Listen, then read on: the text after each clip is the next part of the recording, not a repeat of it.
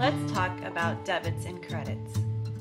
First, let's review our basic accounting equation, which is assets equals liabilities plus stockholders' equity.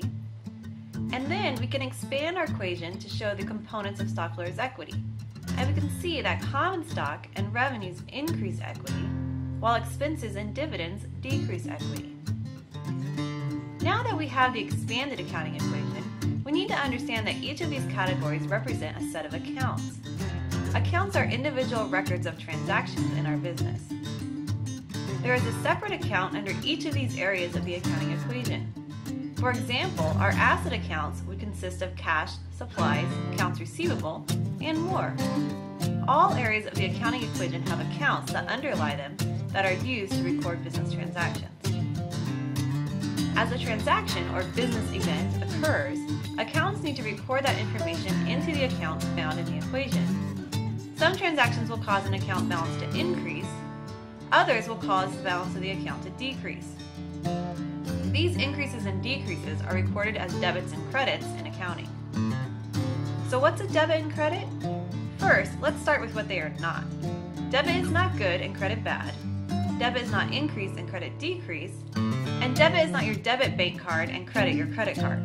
In fact, it's none of these things. Debit means left and credit means right. It's Latin, but don't worry about that. When we look at our accounting equation, we can see that we have a left or debit side and a right or credit side of our equation. Within that, each account also has a left side and a right side, or a debit side and a credit side. The same is true for my liability and stockholders' equity accounts.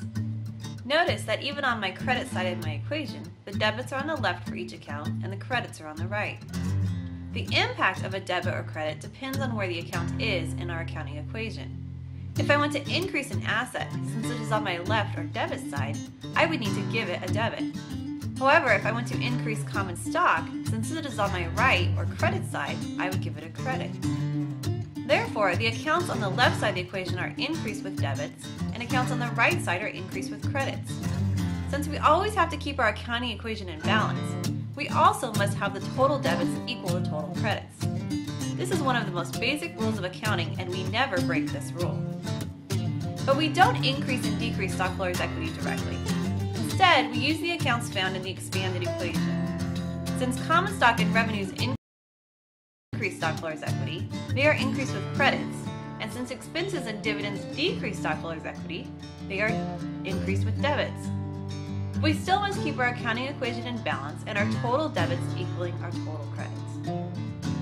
Now we have identified the normal balance for all the account types. The normal balance is the action which increases the account. It's also what status the balance should be in at the end of the period. If we go back and look at the individual accounts in our expanded accounting equation, we can now identify the normal balance for each account. Remember, the normal balance is what increases the balance of that account. If you want to decrease an account, you do the opposite of its normal balance. And now you know the basic rules of debits and credits.